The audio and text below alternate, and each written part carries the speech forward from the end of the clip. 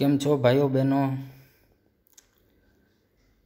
આપે આગળનો વીડિયો સરસ રીતે જોયો હશે. અને એમાં જે ક્વેશ્ચન છે આઈએમપી છે એ વાત પણ આપ જાણો જ છો મિત્રો.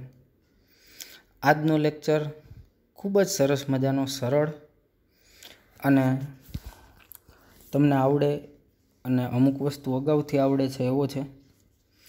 મિત્રો, અધિશોષણના અનુપ્રયોગો. હવે અનુપ્રયોગ એટલે ઉપયોગો. હવે તમે જાણો જ છો અધિશોષણ શું છે? તો તમને કોઈ પૂછે અધિશોષણ શું? તો કે કોઈ પદાર્થ હોય, એની સપાટી ઉપર અન્ય પદાર્થના વાયુ કે પ્રવાહીના અણુ શોષાય. તો આ ઘટનાને અધિશોષણ કહેવાય. હવે એ જે વાયુ કે પ્રવાહીના અણુ શોષાણા એ અધિશોષિત. જેણે શોષા એટલે કે જેની સપાટી ઉપર શોષાણા એ અધિશોષક. અને આખી ઘટના થઈ એ અધિશોષણ. બસ, આ એક જ કન્સેપ્ટ ઉપર આ પ્રશ્ન છે અનુપ્રયોગો. એવું કીધું છે કે અધિશોષણની પરિઘટના ઘણા બધા અનુપ્રયોગો ધરાવે છે. એટલે અધિશોષણ જે છે એ ઘટના ઘણા બધા ઉપયોગો ધરાવે છે. હવે, એ ઉપયોગોની અંદર કેટલાક અગત્યના અનુપ્રયોગોની અહીંયા યાદી કરેલી છે. એટલે કે કેટલાક ઉપયોગો જે છે એ તમને અહીંયા યાદી તરીકે આપ્યા છે. જેમાંનો પહેલો આપ્યો ઉચ્ચ શૂન્ય અવકાશ પ્રાપ્ત કરવા માટે. હવે કોઈ પાત્ર હોય, આ માનો કે આ એક પાત્ર છે. શૂન્ય અવકાશ પંપ વડે શૂન્ય અવકાશ કરેલા પાત્રમાંથી એટલે આ પાત્રમાંથી શૂન્ય અવકાશ પંપ વડે એને શૂન્ય અવકાશ કરેલું છે. શૂન્ય અવકાશ પંપ મતલબ એની અંદર રહેલી હવાને ખેંચી લે અને પાત્રને શૂન્ય અવકાશ કરી દે પણ છતાંય એમાં રહી ગયેલી અલ્પ પ્રમાણની હવાને ચારકોલ વડે અધિશોષિત કરી શકાય, જેથી ઉચ્ચ શૂન્ય અવકાશ પ્રાપ્ત થાય. ઉચ્ચ એટલે એકદમ સારા પ્રકારનું, કે હવે એની અંદર કાંઈ ના હોય. તો મિત્રો વાત એવી થઈ કે કોઈ પણ પાત્રની અંદર જ્યારે તમે શૂન્ય અવકાશ પંપથી એને શૂન્ય અવકાશ કરો છો, બરાબર? તો એમાં હજી થોડી ઘણી હવા તો રહી જ જશે. હજી જો એ પાત્રને તમારે વધુ શૂન્ય અવકાશ કરવું હોય, ઉચ્ચ શૂન્ય અવકાશ પ્રાપ્ત કરવું હોય, તો એમાં રહી ગયેલી હવાને ચારકોલ વડે અધિશોષિત કરવામાં આવે. એટલે એ પાત્રમાં થોડોક ચારકોલ ઉમેરી દો ને એટલે હવે થોડી ઘણી પણ બચેલી હવા છે ને એ ઓલો ચારકોલ પોતાની સપાટી ઉપર શોષી લેશે અને પાત્ર એકદમ શૂન્ય અવકાશ થઈ જશે, જેને ઉચ્ચ શૂન્ય અવકાશ કીધું છે દીકરાઓ. ત્યારબાદ બીજું ગેસ માસ્ક. હવે મિત્રો, જનરલી આપણે જે માસ્ક પહેરતા હોઈએ છીએ, અત્યારે ખાસ કરીને આજે કોરોનાનું એક કાર્ડ ચાલે છે, કોરોના કાર્ડ એની અંદર જુદા જુદા પ્રકારના માસ્ક કે જે ધૂળના પાર્ટિકલ્સ કે નાના નાના ડ્રોપલેટ્સ ડ્રોપલેટ્સ એટલે કોઈ પણ પ્રવાહીના સૂક્ષ્મ બિંદુ, એને તમારા શ્વાસમાં જાતા રોકે એવા પ્રકારના આપણે માસ્ક પહેરીએ છીએ. આવો કંઈક માસ્ક હોય છે. હવે માસ્કમાં પણ જુદા જુદા પ્રકાર આવે. એન નાઇન્ટી ફાઇવ આવો શબ્દ વારંવાર સાંભળતા હશો. એવો જ એક માસ્કનો પ્રકાર આવે, ગેસ માસ્ક. મતલબ એ વાયુને પણ પોતાનામાંથી પસાર થવા દેતો નથી. હવે તો તમને પ્રશ્ન થાય કે તો સાહેબ શ્વાસ કઈ રીતે લેવો? એટલે સામાન્ય જે ઓક્સિજન છે, એ બધા વાયુને પસાર થવા દે, પણ એનાથી મોટા કદવાળા વાયુ હોય, ઝેરી વાયુ હોય એને પોતાનામાં પસાર ના થવા દે અને એ જે ગેસ માસ્ક હોય ને, એની જે આ સપાટી હોય ને આખી માસ્કની એ ચારકોલ વડે બનેલી હોય. સક્રિયકૃત ચારકોલ એટલે બીજું કાંઈ નહીં, એકદમ એવો શુદ્ધ કોલસો કે એમાં બીજી કોઈ પણ અશુદ્ધિ ના હોય. હવે ચારકોલ કે કોલસો એ અધિશોષક છે. આ તો તમને ખ્યાલ જ છે. હવે અધિશોષક કોઈ પદાર્થ હોય, એનો મતલબ એમ કે એ પદાર્થ પોતાની સપાટી ઉપર અન્યનું અધિશોષણ કરી શકતો હોય. તો મિત્રો, એની સપાટી ઉપર છિદ્ર હશે તો એ અન્ય વાયુને કે કોઈ પ્રવાહીને શોષી શકે ને? તો સક્રિયકૃત ચારકોલ એટલે એવો કોલસો કે જેની સપાટી ઉપર રહેલા છિદ્રો એકદમ ખાલી હોય. મતલબ એમાં કોઈ બીજી અશુદ્ધિ ના હોય એકદમ નીટ એન્ડ ક્લીન માત્ર કોલસો જ હોય, એને સક્રિયકૃત ચારકોલ કહેવાય. તો આ જે ગેસ માસ્ક છે ને, એમાં સક્રિયકૃત ચારકોલનો ઉપયોગ કરે. પછી એવો માસ્ક તમે પહેરો, એટલે જે ઝેરી વાયુ છે, એને ઓલો ચારકોલ પોતાનામાં અધિશોષણ કરી લે અને તમારા શ્વાસમાં જાતું રોકે.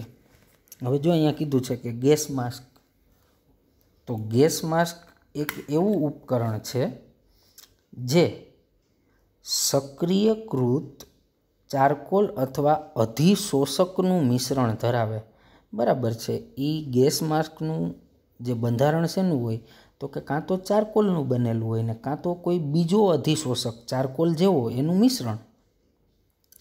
નો સામાન્ય રીતે ઉપયોગ કોલસાની ખાણોમાંથી નીકળતા ઝેરી વાયુઓને અધિશોષી લેવા માટે શ્વાસોશ્વાસ દરમિયાન વપરાય છે.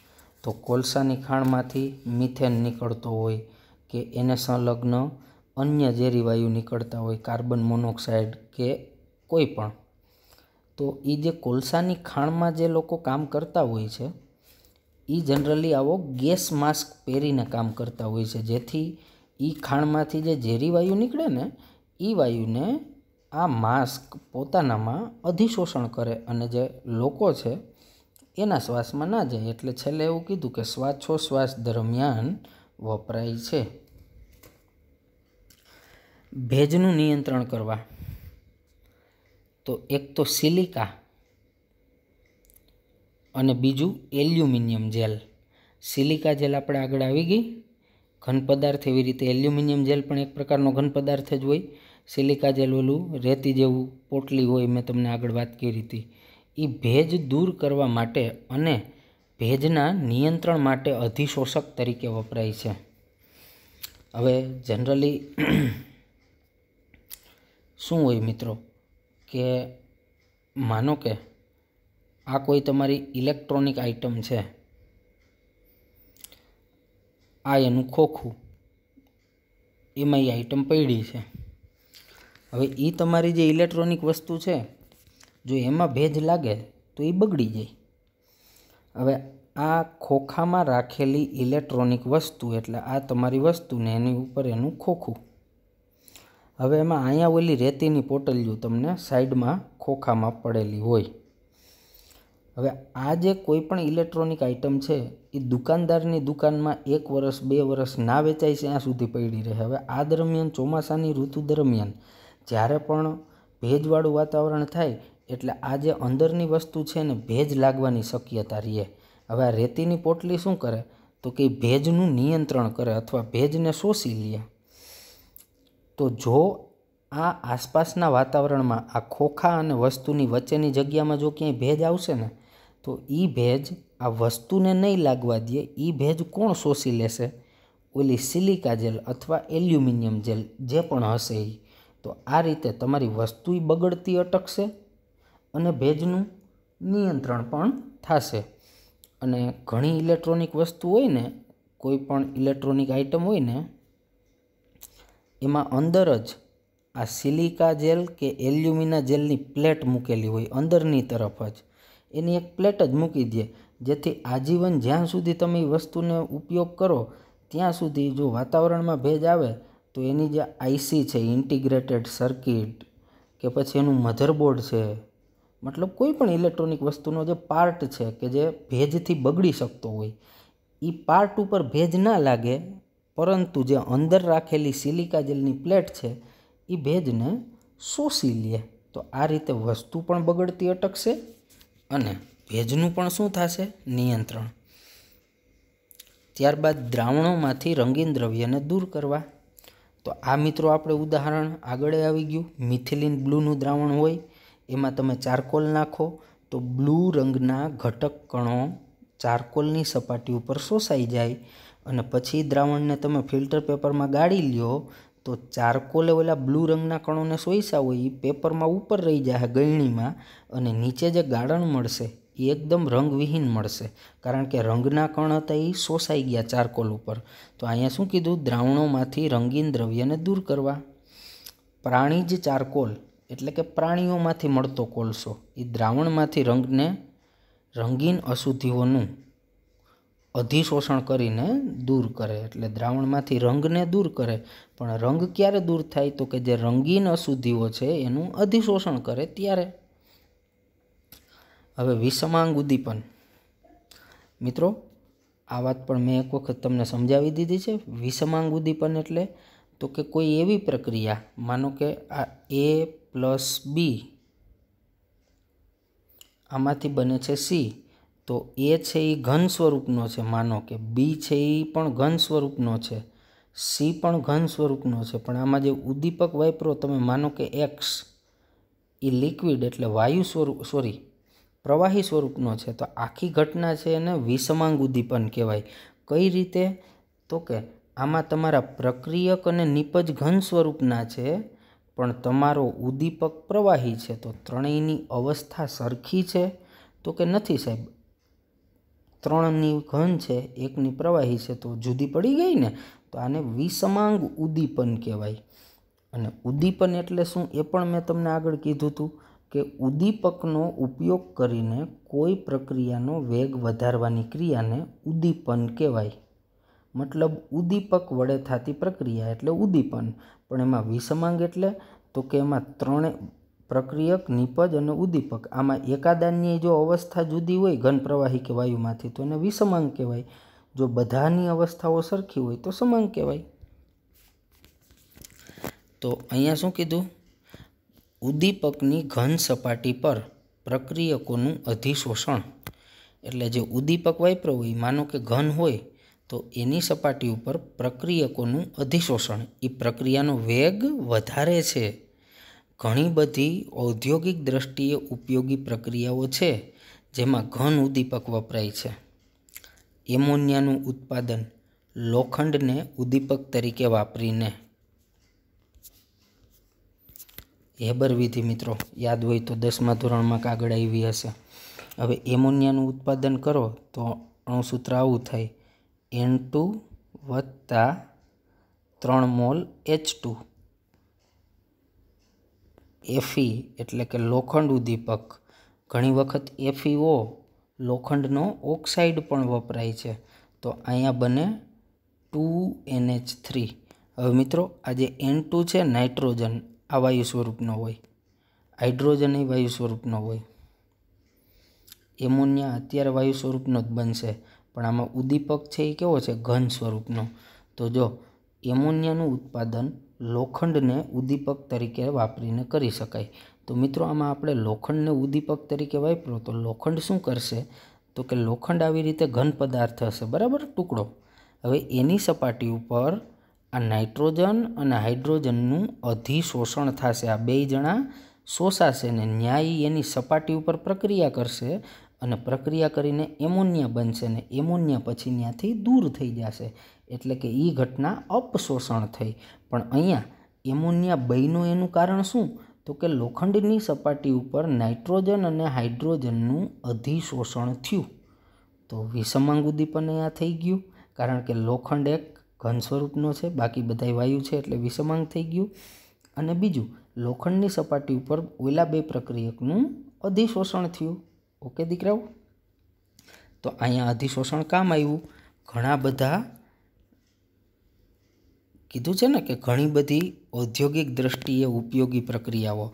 તો આ ઉદ્યોગોની દ્રષ્ટિએ એમોનિયાનું ઉત્પાદન ઉપયોગી પ્રક્રિયા છે. તો એમાં ઘન ઉદ્દીપક વપરાય. પછી સંપર્ક પદ્ધતિ દ્વારા એચ ટુ એસઓ ફોરનું ઉત્પાદન. આ પણ મેં આગળ તમને સમજાવી દીધું. સંપર્ક વિધિ દ્વારા એચ ટુ એસઓ ફોરનું ઉત્પાદન હાવ ટૂંકમાં કહી દઉં. એસઓ ટુ બેમોલ વત્તા ઓ ટુ ઉદ્દીપક તરીકે vanadium pentoxide V two O five તો બેમોલ એસઓ થ્રી અને હવે આ એસઓ થ્રીને પાણીમાં નાખો એટલે એટ ટુ એસઓ ફોર બની જતો તો બરાબર? તો આ જે વેનેડિયમ પેન્ટોક્સાઇડ ઘન ઉદ્દીપક થયો, આ બે વાયુ હોય ટૂંકમાં આ આની સપાટી ઉપર શોષાય. આપણે પ્રક્રિયાથી કોઈ મતલબ નથી. આ ખાલી તમારી જાણકારી માટે કહું છું, હો. ઓકે, તો આમાં પણ ઘન ઉદ્દીપક વપરાણો અને એની સપાટી ઉપર અધિશોષણ થયું. એવી જ રીતે ત્રીજું, તેલના હાઇડ્રોજિનેશન માટે ઝીણી કરેલી નિકલ ધાતુનો ઉપયોગ વનસ્પતિ તેલમાંથી વનસ્પતિ ઘી તેલનું હાઇડ્રોજિનેશન. ઓકે, તો આ જે છે, એમાં નિકલનો ઉપયોગ, વિષમાંગ સંતુલનના ઉત્તમ ઉદાહરણ. તો આમાં નિકલ છે એ ઘન સ્વરૂપની છે તમારી. તો તમે એ જે તેલનું હાઇડ્રોજિનેશન કરો, અને એમાં તમે નિકલ ધાતુનો ઉપયોગ કરો, તો એ નિકલ ઘન સ્વરૂપ નહીં થઈ. તો એ તમારું વિષમાંગ ઉદ્દીપન થયું આમાં પણ અધિશોષણ જ થતું હોય. તો આ જે ઘટનાઓ છે એ દરેકની અંદર અધિશોષણ કામ આવે છે.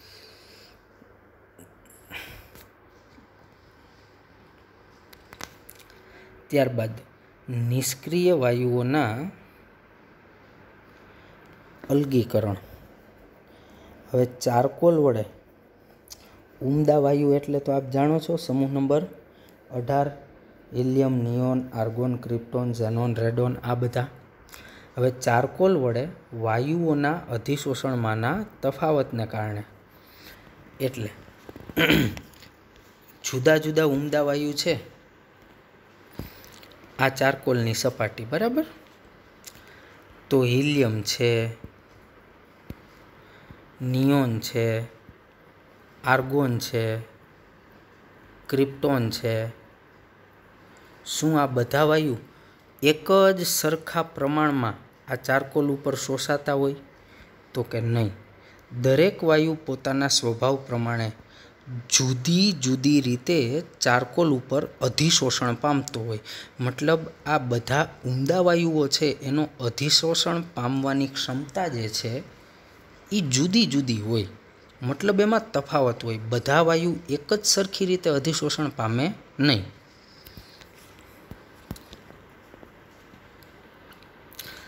એટલે અહીંયા જોયું, કીધું કે ચારકોલ વડે વાયુઓના અધિશોષણમાંના તફાવતના કારણે.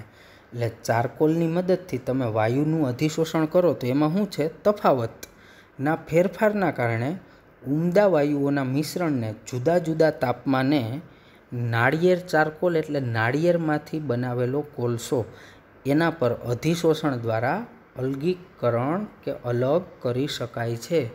એનું જે અધિશોષણ છે ને, એમાં તફાવત છે. એટલે તમારી પાસે બે ત્રણ ઉમદા વાયુનું મિશ્રણ હોય, તો એને જુદા જુદા તાપમાને તમે નાળિયેર ચારકોલ ઉપર અધિશોષણ પમાડો અથવા તો અધિશોષણ પામે, તો એના ઉપર એ અલગ અલગ ભાગમાં અધિશોષિત થશે. કોલસાના અમુક ભાગમાં અમુક વાયુનું અધિશોષણ થાય, અમુકમાં અમુકનું થાય. મતલબ એનો જે અધિશોષણ પામવાની ક્ષમતા હોય, એ જુદી જુદી હોય, તો એ ત્રણેય અલગ પડી જાય. કારણ કે આગળ પણ આવી ગયું. જે વાયુનું ક્રાંતિક તાપમાન વધારે, એનું અધિશોષણ ઝડપથી થાય. એટલે અહીંયા જો કીધું, જુદા જુદા તાપમાને. તાપમાન બદલાવતા જવાના. જ્યારે જેનું ક્રાંતિક તાપમાન આવશે ત્યાં એ શોષાશે. બાકીના બે ના શોષાય, કુલ ત્રણ હોય તો. હવે એક શોષાઈ ગયો, એને અલગ કરી દો પછી બે વૈધા. હવે તાપમાન બદલાવો. એ બેમાંથી જેનું ક્રાંતિક તાપમાન એટલું હશે, હવે એનો વારો એ શોષાશે. ઓલો એક પાત્રમાં રહી ગયો ને આ અલગ થઈ ગયો. તો આવી રીતે મિત્રો તાપમાનના તફાવતના આધારે તમે ચારકોલ ઉપર જુદા જુદા જે ઊંડા વાયુ કે તમે એને એક પ્રકારે શું કહો છો? નિષ્ક્રિય વાયુ એનું અલગીકરણ કરી શકાય. હવે રોગ મટાડવા માટે. હવે તમે કોઈ દવા ખાઓ છો? એ જનરલી દવા શું? અમુક દવાઓ કેવી રીતે કામ કરતી હોય? કે તમારા પેટમાં કોઈ રોગકારક જીવાણુ હોય ને તો તમે એ દવા ખાઓ ને તો એ દવા પોતાની સપાટી ઉપર એ રોગકારક જીવાણુનું અધિશોષણ કરી લે. એટલે હવે જીવાણુ ક્યાં ગયા? તો કે દવામાં શોષાઈ ગયા ને પછી ઉત્સર્ગ દ્રવ્ય વાટે શરીરમાંથી દૂર થઈ જાય. તો તમને રોગ મટી ગયો કે નહીં?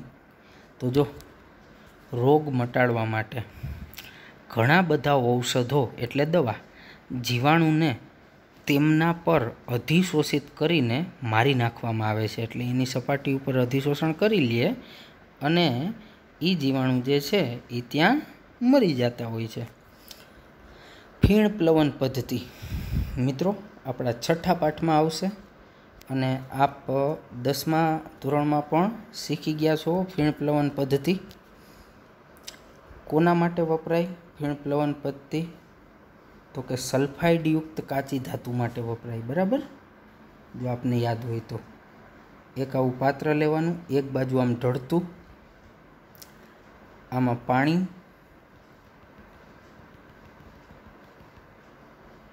આ જે તમારું પાત્ર છે, એમાં શું શું રાખવાનું? તો કે એક રાખવાનું પાણી.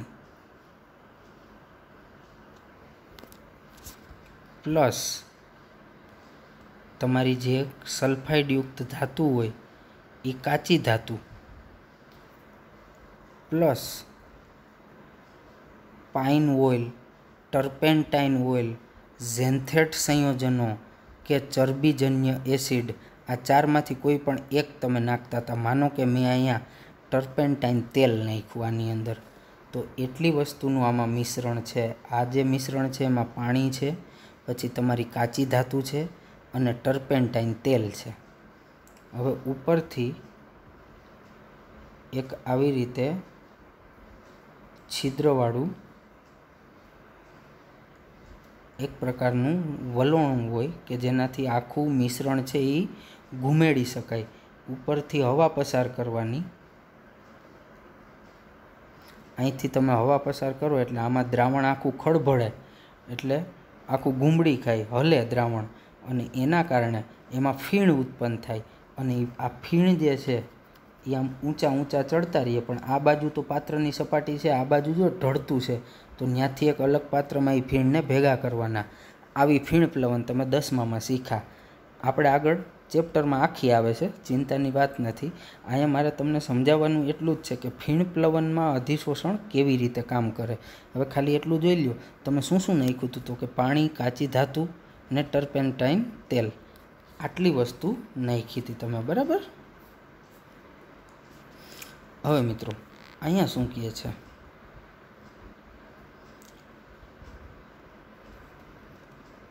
તો કે નિમ્ન કક્ષાની, નિમ્ન કક્ષા એટલે નીચી જાત. મતલબ જેમાંથી કોઈ પણ ધાતુ છે એ ઓછા પ્રમાણમાં મળતી હોય, એટલી બધી વધારે ના મળતી હોય. એટલે નિમ્ન કક્ષાની. સલ્ફાઇડ અયસ્ક. અયસ્ક એટલે કાચી ધાતુ, બીજું કાંઈ નહીં. હું તમને કીધું હતું ને કે ફીણ પ્લવન છે એ સલ્ફાઇડયુક્ત ધાતુના અલગીકરણ માટે વપરાય. તો નિમ્ન કક્ષાની સલ્ફાઇડ અયસ્કને સિલિકાથી, એટલે કે રેતીથી, અને અન્ય મૃતિકામય દ્રવ્યથી, મૃતિકામય દ્રવ્ય એટલે વધારાના દ્રવ્યો, રેતી, માટી, કાંકરા વગેરે, કે જે મૃત છે, આપણા કાંઈ કામના નથી, એનાથી અલગ કરી અને આ પદ્ધતિથી સંકેન્દ્રિત કરવામાં આવે. આ પદ્ધતિ એટલે ફીણ પ્લવન. આમાં પાઇન ઓઇલ અને ફીણ ઉત્પન્નકારક પ્રક્રિયકને ઉમેરવામાં આવે છે. જો કીધું ને, જુઓ એકમ છ. મેં પાઇન ઓઇલને બદલે શું નાખ્યું હતું? ટર્પેન્ટાઇન. હું બોલ્યો હતો ને કે ચાર વસ્તુમાંથી કોઈ પણ એક નાખી શકો. પાઇન ઓઇલ, ટર્પેન્ટાઇન, ઝેન્થેટ સંયોજનો કે ચરબીજન્ય એસિડ. હવે આમાં બીજું કાંઈ નથી થતું. તમે આ પાઇન ઓઇલ અને ફીણ ઉત્પન્નકારક એટલે ફીણ ઉત્પન્ન કરે એવા પદાર્થો નાખો. એના માટે પણ એનિલિન અથવા ક્રેસોલ નાખવાનું. એ છઠ્ઠા પાઠમાં ડિટેલમાં આવશે. મારે સમજાવવાનું એ જ છે કે આ પાઇન ઓઇલ નાખવાથી શું થાય? તો કે તમે જે પાઇન ઓઇલ નાખો છો ને એ પાઇન ઓઇલ બીજું કાંઈ કામ નથી કરતું.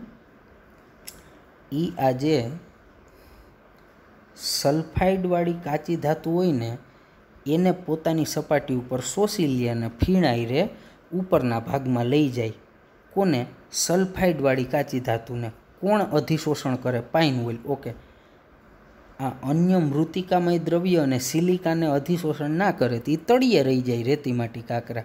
તો આમાંય કામ તો આવ્યું ને અધિશોષણનો સિદ્ધાંત. ઓકે.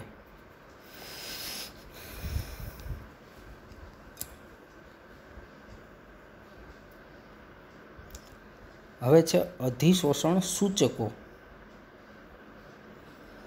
હવે આ શું છે? અધિશોષણ સૂચકો. તો કે સૂચક એટલે ઇન્ડિકેટર તમે ધોરણ અગિયારમાં પ્રેક્ટિકલ કર્યો, એમાં ઓલું ફિનોપથેલિન નાખતા હતા બ્યુરેટ પીપેટના પ્રેક્ટિકલમાં તો એ ફિનોપથેલિન શું કામ કરતું હતું? તો કે ઉપરથી જે તમે બેઝ નાખતા હતા એ ઓલા સંપૂર્ણ એસિડનું ટાઇટ્રેશન થઈ જાય અને વધારાનો બેઝ જો એક બે ટીપાઈ પડી ગયો એટલે આખું દ્રાવણ ગુલાબી કલર થઈ જતું હતું. મતલબ એ તમને સૂચન કરતું હતું કે ભાઈ હવે અંદર જે એસિડ છે એ પૂરેપૂરા એસિડનું ટાઇટ્રેશન થઈ ગયું છે. એનું તટસ્થીકરણ થઈ ગયું છે. હવે નવો બેઝ નાખવાની જરૂર નથી. એને સૂચક કહેવાય. કોઈ પણ પ્રક્રિયા પૂરી થવાનું સૂચન કરે, ઇન્ડિકેશન આપે, ઈશારો કરે, એને સૂચક કહેવાય.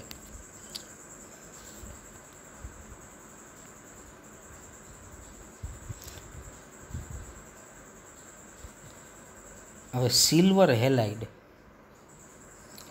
સિલ્વર હેલાઇડ એટલે એજી એક્સ જ્યાં એક્સ બરાબર halogen chlorine bromine iodine fluorine ઘણા બધા હોય. તો આ એજી એક્સના ઉદાહરણ આપવા હોય તો હું આપી શકીએ. આ એજી સીએલ આને સિલ્વર હેલાઇડ કહી શકીએ. પછી એજી બીઆર આને પણ સિલ્વર હેલાઇડ કહી શકીએ. હવે માનો કે તમે કોઈ પ્રયોગ કરો છો, બરાબર? હવે એ પ્રયોગમાં સિલ્વરનો હેલાઇડ બને છે. એટલે કે એજી એક્સ બને છે. હવે એ બન્યો કે નથી બન્યું એ તમને ખબર કેમ પડે? તો કે આ સિલ્વર હેલાઇડ છે ને એ એવો પદાર્થ છે અથવા એવા અવક્ષેપ છે કે જે પોતાની સપાટી ઉપર કેટલાક રંગકોનું અધિશોષણ કરી શકે. અને રંગીન દ્રાવણ બનાવી દે આખું. જેમ કે ઇવોસિન ફ્લોરેસિન, આ સૂચકના નામ છે. આ બે સૂચકને આ સિલ્વર હેલાઇડ પોતાની સપાટી ઉપર અધિશોષિત કરી શકે, એટલે કે શોષી શકે. તો મિત્રો, આ સિલ્વર હેલાઇડ દ્રાવણમાં બનશે તો જ એ ઓલા બેયને પોતાની સપાટી ઉપર અધિશોષિત કરશે ને? નહીં બને તો તો કેમ કરે? આપણે પ્રયોગ શેના માટે કરીએ છીએ? તો કે માનો કે તમે કોઈ પ્રયોગ કરો છો, એમાં સિલ્વર હેલાઇટ બનાવો છો, તો હવે બહેનો કે નહીં એ તમારે ચેક કરવું હોય, તો તમે શું કરો? તો કે તમે એની અંદર પ્રયોગ જ્યારે ચાલુ કરો, ત્યારે એ પાત્રની અંદર ઇવોસિન અથવા ફ્લોરેસિન, બેમાંથી એક સૂચક નાખી દેવાનું, પછી જે કાંઈ પદાર્થ એમાં ઉમેરવાના થતા હોય એ તમારે ધીમે ધીમે ઉમેરતા જવાના. હવે અંદર સિલ્વર હેલાઇડ બની ગયો કે નથી બન્યો એ ખબર કેમ પડશે? તો કે, હવે સાહેબ, અમને ખબર પડી જશે. કઈ રીતે? તો કે, જ્યારે સિલ્વર હેલાઇડ પાત્રમાં બનશે, એટલે તમે ઓલો પહેલેથી જે ઇવોસિન કે ફ્લોરેસિન નાખેલો છે એ ઇવોસિન કે ફ્લોરેસિન જેવો સિલ્વર હેલાઇટ બનશે ને એટલે એની સપાટી ઉપર અધિશોષિત થઈ જશે અને આખા દ્રાવણને રંગીન બનાવી દેશે. તો જેવો રંગ દેખાય, એવું સમજી લેવાનું કે સિલ્વર હેલાઇડ બની ગયો. કેમ? તો કે રંગ એટલા માટે દેખાણો કે આ જે તમે સૂચક નાખો તો અંદર એ સિલ્વર હેલાઇડની સપાટી ઉપર અધિશોષણ પામ્યો હોય તો જ રંગ બતાવ્યો હોય, બાકી ના બતાવ્યો હોય.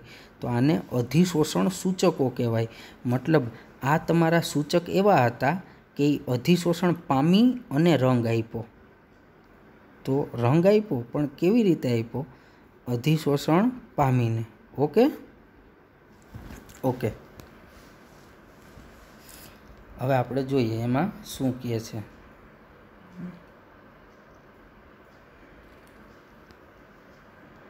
તો કે આમાં એવું કહે છે કે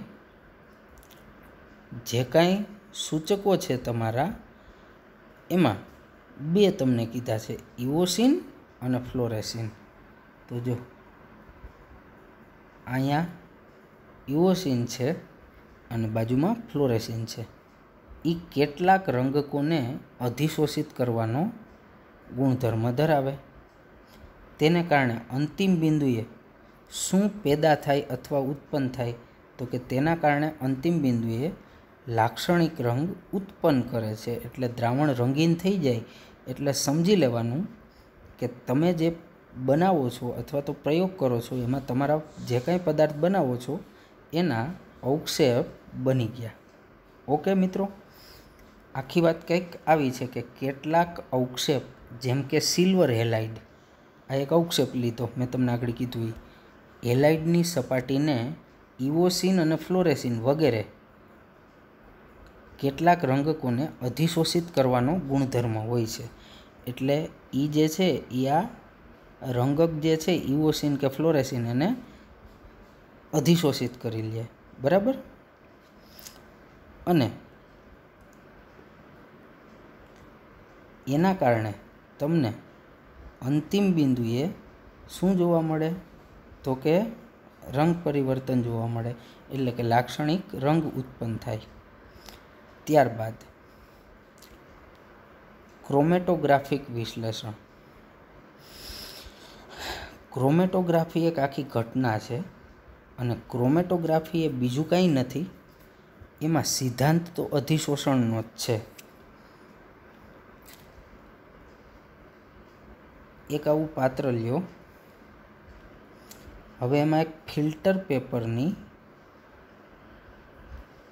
પટ્ટીને ડૂબાડો. અથવા આવી રીતે આમ લટકાવી દો ઉપરથી ફિલ્ટર પેપરની લાંબી પટ્ટી. હવે પટ્ટીના નીચલા ભાગે અહીંયા તમારી જે બોલપેનની સાઈ હોય ને બ્લુ કલરની, એનું ઘાટું ટપકું કરી દો પેનથી. હવે એ તમારું પાત્ર છે, એમાં પટ્ટીમાં જે ટપકું કર્યું ને એ ટપકું ડૂબે ને ત્યાં સુધી પાણીથી ભરી દો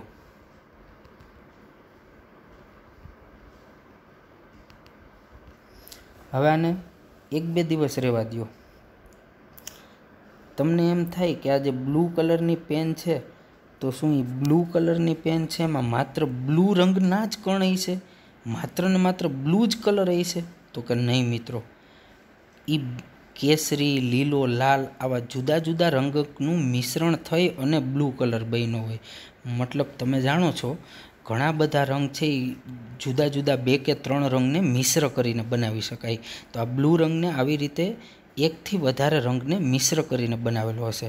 તો એ તમે એક બે દિવસ પછી જોશો ને, તો એ જે બ્લુ કલરનું જે તમારું ટપકું છે, એમાંથી આ પટ્ટી જે છે તમારી એ પટ્ટીને હવે અહીંયા અલગ કાઢી લ્યો આમ. એમાં આવી લટકાવેલી જે છે ફિલ્ટર પેપરની પટ્ટી. તો એ પટ્ટીના જુદા જુદા ભાગમાં જુદા જુદા રંગ તમને શોષાયેલા દેખાશે. મતલબ આટલો ભાગ જે હું આ નીચેનો કરું છું એ તમને કેસરી જેવો દેખાય. તો આ લીલા જેવો દેખાય.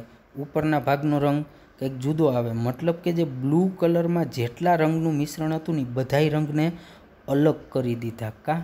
તો કે દરેક રંગનું અધિશોષણ પામવાની ક્ષમતા જુદી જુદી હતી. એટલે એ ફિલ્ટર પેપરના જુદા જુદા ભાગમાં અધિશોષણ પાઈમાં એટલે ત્યાં સુધી સ્થળાંતર કરીને ઉપર ચડી શક્યા આમ પટ્ટીમાં ઉપરની બાજુએ જુદા જુદા રંગ છે એ અધિશોષણ પામી શક્યા તો શું કામે પામી શક્યા તો કે એનું કારણ એક અને માત્ર એક જ છે મિત્રો, કે દરેક રંગ જુદી જુદી ક્ષમતાથી અધિશોષણ કરતો હોય. તો આજે મેં પ્રયોગ કીધો ને તમને, આને ક્રોમેટોગ્રાફીનો પ્રયોગ કહેવાય.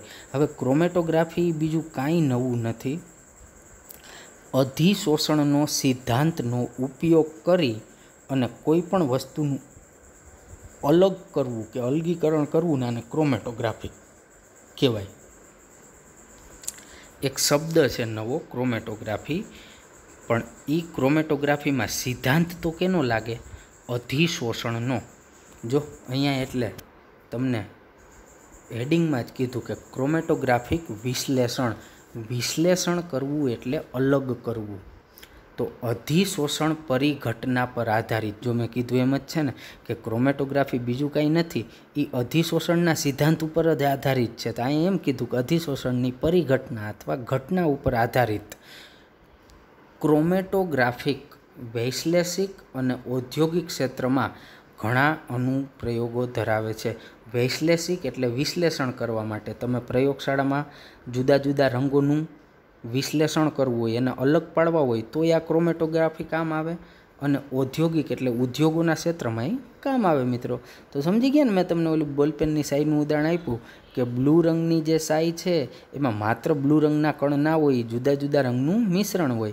એને મેં કીધું એવો તમે પ્રયોગ કરો ને એટલે ફિલ્ટર પેપરના જુદા જુદા વિભાગમાં જુદા જુદા રંગ તમને શોષાયેલા જણાય. કારણ કે દરેક રંગની શોષાવાની ક્ષમતા કેવી હોય? અલગ અલગ. અને એ સિદ્ધાંત કયો થયો? તો કે અધિશોષણ. ક્લિયર મારા દીકરાઓ? ઓકે. તો આ ક્રોમેટોગ્રાફિક બસ આટલી વાત છે મિત્રો. હવે ત્રણ લખાણ સંબંધિત પ્રશ્નો છે, જે આપ સારી રીતે જોઈ લ્યો અને આને સોલ્વ કરવાનો પ્રયત્ન કરજો. બાકી હું તમને આ કરાવી દઈશ, હું. હવે છે ઉદીપન બોલો. મેં કીધું હતું ને કે આજનો લેક્ચર એકદમ સહેલો રહેવાનો છે. કારણ કે બધું જાણીતું જાણીતું જ.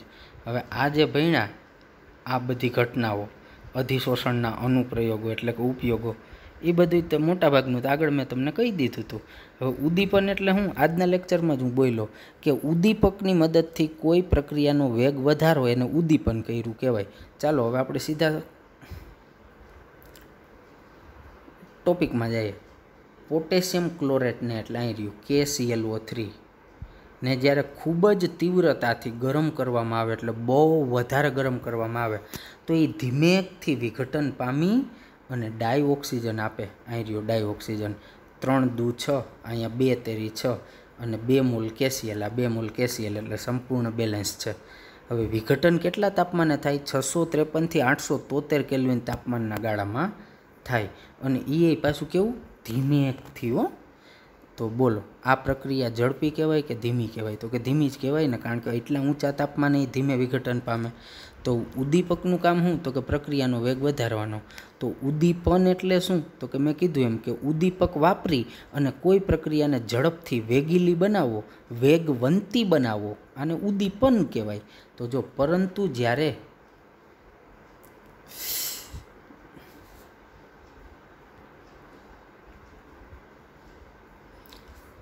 સોરી.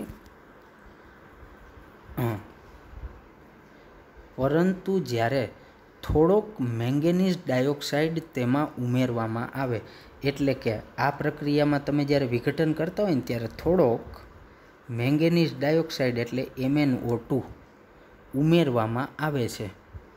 ત્યારે સરખામણીમાં નીચા તાપમાને, એટલે કોની સરખામણીમાં? તો કે આ તાપમાનની સરખામણીમાં.